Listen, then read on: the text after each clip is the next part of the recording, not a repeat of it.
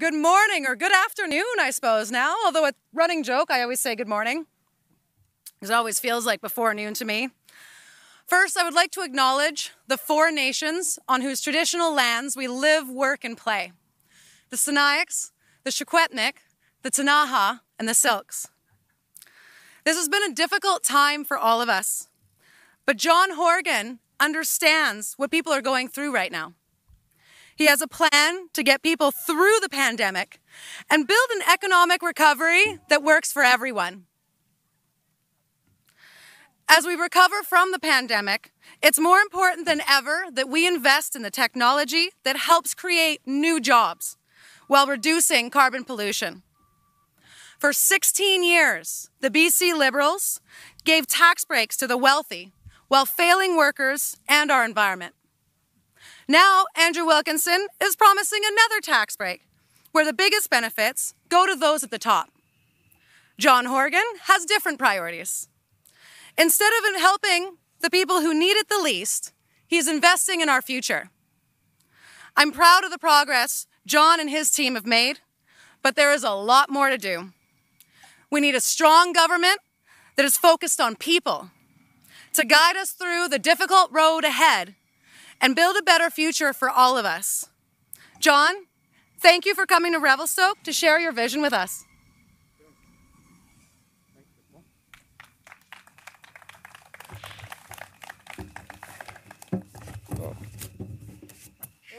Take, take my ravi off.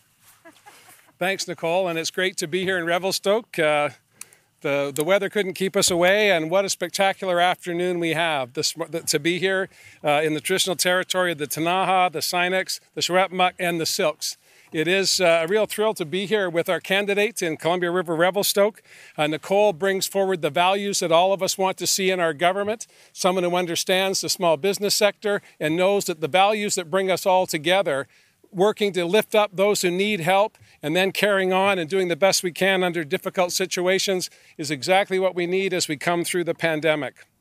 This has been a challenging time for all British Columbians, and we're far from out of the woods. We've got a great distance to go, and we need to focus on making sure that everything we do from this point on is focused on the people of British Columbia and the services that they need to keep them going. Whether it be more childcare, investing in K 12 education, or the ever important public health care system that defines who we are as Canadians and British Columbians. I believe Nicole will help us make that last step to have a stable, strong government going forward for the next four years so that we can deliver for the people of British Columbia and the people of Revelstoke and the Columbia Valley. Over the past couple of weeks, we've been talking about issues. We've been talking about the things that matter to British Columbians. Earlier in the week, I announced 2,000 new spaces for STEM classes. That's science, engineering, technology, and math, making sure that the innovators that we're going to need to meet the challenges of our future get the education they need and deserve today. Our government's been tackling these challenges for the past three years. And when we got here, I have to confess there were problems just about under every rock. They were buried by the Liberals, ignored by the Liberals, and we've been doing our level best to bring these issues to light so British Columbians can understand the challenges we have going forward. Nowhere is that more evident than in the forest sector. The government didn't put the effort in, the BC Liberal government didn't put the effort in when the beetle kill came through to prepare for when that wood was gone. And instead, it was all about more volume and not about more value. Our government has a different perspective. First, we put $69 million into a fund to protect those workers that were displaced when mills were closing because they didn't have access to fiber. But more importantly, we started putting in place a plan to ensure the fiber that we do have is used to make sure we're creating more jobs. On the coast, the big challenge is raw log exports. Where I come from, my rainforest, Nicole and I were talking about her rainforest and my rainforest. My rainforest is, was being cut down and exported raw to other jurisdictions to create jobs. Here in the interior, the BC Liberals ignored the downturn because of the beetle kill and instead just allowed mills to continue to harvest and cut and move volumes out. The softwood lumber agreement, of course, has had a profound impact on the industry, and we need to be mindful every single day that our largest trading partner to the south of us doesn't look at our activity the same way we do. These are public forests. We know that. the public should benefit from them. And that's the focus we've had over the past three and a half years. But if we're going to continue to have a forest industry in British Columbia, it's a value proposition. And that's why I'm here to say that the mass timber industry, whether that be cross laminated timber or other mechanisms to take our wood and add value to it, creating more jobs and creating environmentally sustainable building products, is the way of the future. We've encouraged cities, and Nicole, as, a, as a, a, councillor and a member of the Union of BC Municipalities, knows full well that cities around British Columbia are standing up and saying, We want to build with mass timber. We want to use an environmentally focused building product to make sure that we are building the cities of the future, and the province is helping as well. We've ensured that uh, buildings such as the, uh, the uh, student housing at BCIT is going to be built with mass timber fabricated here in British Columbia, manufactured here in British Columbia, put together by British Columbians. The uh, BC Archives are building a new building in lower, the Lower Island uh, in my community that will be built with mass timber. And companies are starting to make the transition as well. Kalesnikoff Lumber in the South Kootenay and the Slocan a generational business, three generations of people working in the forest sector, has made a significant investment, tens of millions of dollars, in transitioning away from volume and into value. And they will also be producing mass timber in the Kootenays, just as is being done right now in Okanagan Falls. And I want to talk a little bit about Structurlam, the company there. I've toured it several times. They are innovators. They, they made the proposition to me and to others that we can take our smaller dimensional lumber and create big lumber and make buildings that are all wood, mass timber. And they're not just doing it in British Columbia, they're exporting mass timber to the United States in huge volumes. That's the type of volume we want to talk about. Manufacturing jobs in British Columbia, sustaining our forest industry now and into the future, and building with a focus on climate action. If we use uh, wood products that sequester carbon. We're doing better, a better job to make sure that the buildings of today and tomorrow are going to be there to protect the youngsters that depend on a government that's focused on climate action.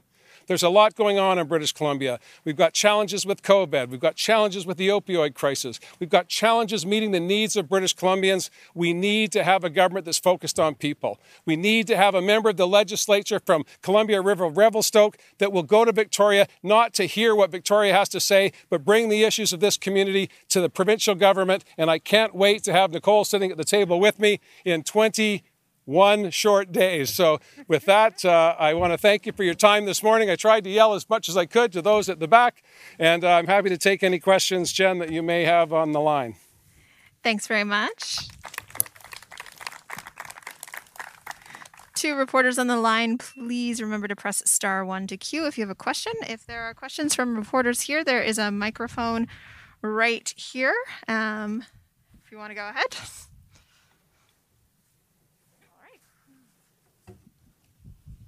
And let's just see if there's anyone on the line. Hold on a sec. 10 o'clock press conference at 2 o'clock. That might do it. All right, we're going to go to Tim Ford. Sorry, I'm getting the wrong information. This is going to happen. Gord Hoekstra. There we go. We're going to Gord. Oh, uh, good afternoon. Uh, just a, a, question. You mentioned about um, you know, uh, trying to make uh, the forest industry uh, more innovative and better. Uh, do you have any plans or proposals, that, you know, to do that? I mean, you mentioned some things that have happened already. What's going to happen going forward? Well, first thing we did uh, this past summer was we appointed Ravi Kahlon as the Parliamentary Secretary for Wood Innovation and Mass Timber. So we have a member of the government that's working with industry, uh, looking at best practices around the world. Uh, in my own community of Langford, uh, we've had two mass timber buildings erected, and the and the wood was uh, had to be uh, contracted from Austria. It strikes me as slightly beyond odd that a forest dependent community like the one that I live in had to find mass timber in Europe. So we're looking to work with industry, and the Kalesnikoff example is a good one where uh, long generational families have found a way to find investment opportunity to create more jobs and get more value out of our timber.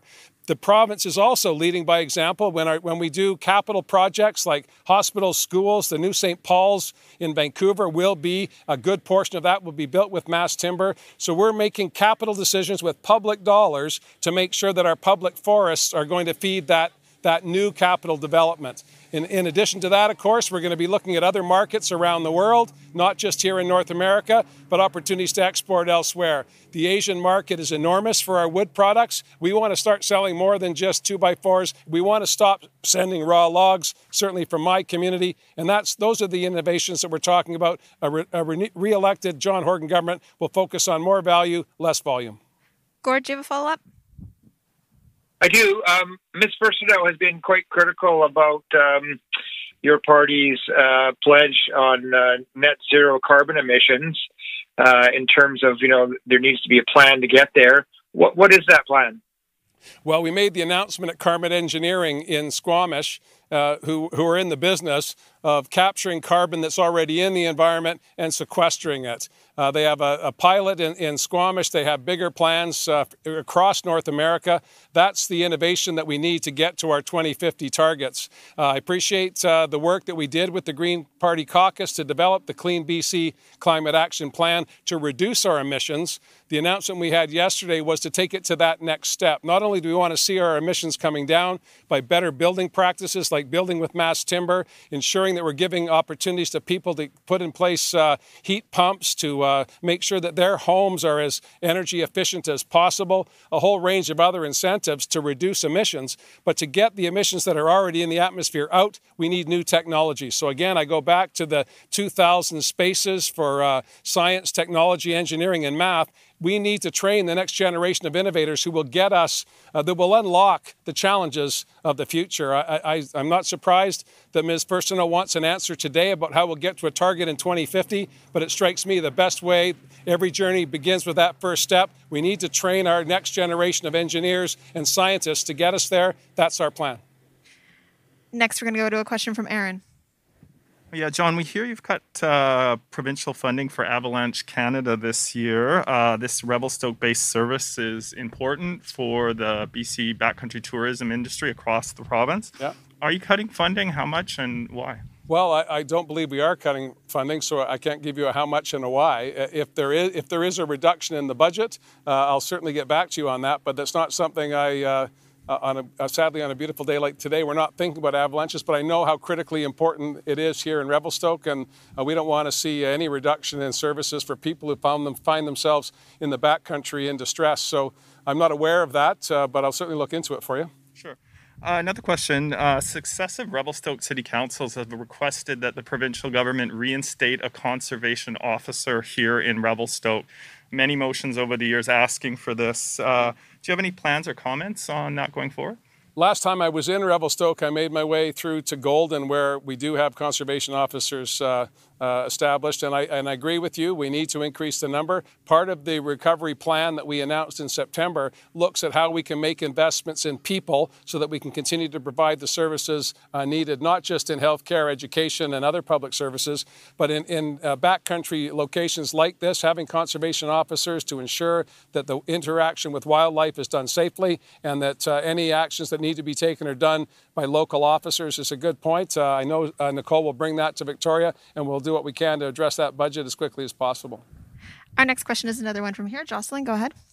Hi. Um, do you anticipate your new program with local BC logs will increase logging in the province? It'll it will reduce the cut and cover uh, that's been going on over the past number of years and instead focus on sustainable harvesting and we'll put more value into the wood that we cut down. That'll extend the, the, the forest life. It'll allow, it's a, as, as, you know, it's a renewable industry, tree planting. Uh, one of the uh, elements of our pandemic response that I'm most proud of is that we planted more trees this summer than we did last summer, and we did it in a way that was safe.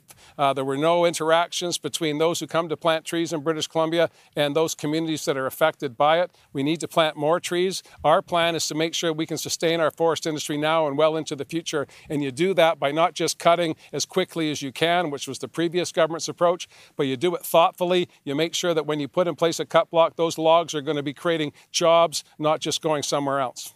Do you have a follow up, Jocelyn? Yeah, and then how do you think that'll impact our old growth forest, which isn't very much left in the province, as well as caribou habitat? We just uh, announced our response to uh, old growth strategy. We put we asked two experts, uh, renowned British Columbians, to put in place an old growth plan. It involved uh, protecting 353,000 hectares of old growth forest. I might be off by a hectare or two on that in every corner of the province. Old growth forests are uh, critical to habitat. They're also critical to British Columbians. The, uh, the spiritual sustenance of many British Columbians is found in our old growth forests, and we want to make sure we maintain those into the future. I can certainly direct you to the plan and our response. It was just uh, last week or two weeks ago. I've kind of lost track of time. It was in September. Uh, so, uh, uh and I'll get you the exact hectares, but old growth, uh, protecting old growth forests is an integral part of our government's plan going forward. Our next question from the phone is from Terri Theodore. Hi, uh, Sonia Brisman says that the the best thing for the next government would be another minority government. I imagine you have a different idea on that. Well, we did accomplish a great deal in uh, three and a half years as a minority government, an unprecedented length of time in BC's history of having a minority government.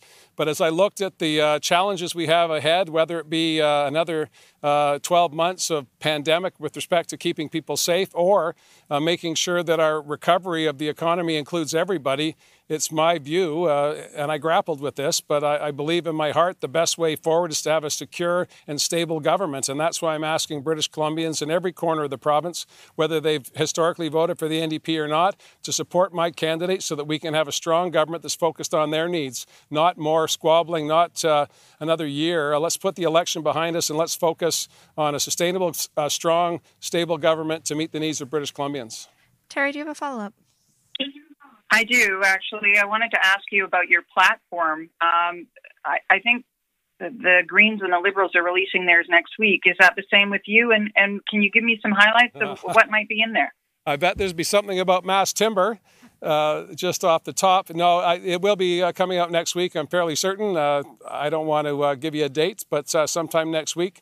And it's going to be focusing on the needs of British Columbians. We want to make sure that we're focused on people, businesses, and communities. That's the, the heart of British Columbia. All of those things have to be integrated together. And, and that's been our plan for the past three and a half years. And we want to continue that for the next four years. Our next question is from Penny Daflos. Oh, hi there. Um, a Green candidate has already stepped down to throw their support behind an independent. A lot of analysts are saying this independent actually has a really good chance of winning the seat in Chilliwack, Kent. And I just wonder, how would an independent uh, sitting in the legislature factor in for you? And is that something that you're kind of considering when you do the math about how this could all shake out? Well, certainly, uh, what what we're doing now is asking British Columbians. Uh, who they where they want to go and who they want to lead them. And we are having 87 elections in British Columbia. There's one here in Columbia River Revelstoke. Uh, there's one in uh, Kootenay East. There's one in Kootenay West. Uh, there's one in um, Chilliwack, Kent. And uh, the people in those communities will make the decision on who they want to elect, and they will arrive at the legislature, and then we'll get to work. I have uh, I've been uh, very comfortable working with uh, the Green Caucus. Uh, Mr. Weaver, Dr. Andrew Weaver, left the Green Caucus and sat as an independent, and uh, we continue to have a very good relationship. Uh, the Speaker of the legislature, Darryl Plecas, was a Liberal, became an independent, and I've also, in, in, in the past three and a half years, been working with big businesses, small businesses, labor leaders, not for profits, regular folks, Indigenous leaders. I, would like to think that I bring people together. I'm, I'm delighted to uh, hope that my community reelects me, and I look forward to meeting the next 86 members of the legislature and working with them, wherever they may come from and whatever perspective they may have. Penny, do you have a follow up? No, I'm good. Thank you very much. Great. Our last question today is going to come from Nelson Bennett. Yeah, just uh, following up on um, um Sonia Furstenau's um, uh, press conference earlier today, uh, and following up on um, LNG, she, you know, she mentioned the uh, the recent commitments to carbon neutrality and clean BC by 2050. Um, but she said, I think she cited a Stan Earth report that estimates that uh, because of LNG, uh, BC will exceed its um, emissions budget by 160 percent. Uh, that report doesn't specify how many plants we're talking about, but I'm just wondering if you could respond to that. Basically, saying we can't have LNG and meet, meet the targets.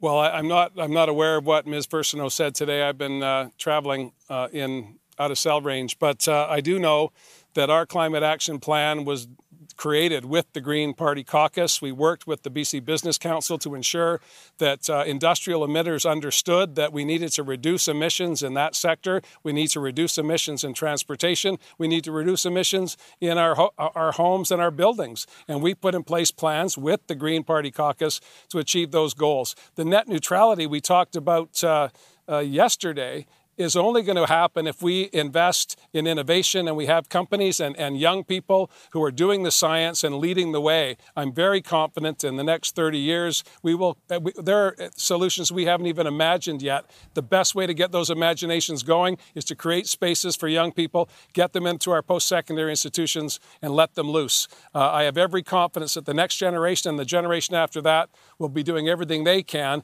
to have the same quality of life that all of us have had, and, and they're going to do it better than we did, and good for them. Nelson, do you have a follow up? No, that's good. Thanks. Thanks, right. Nelson. Thanks, everyone. Thanks, everybody.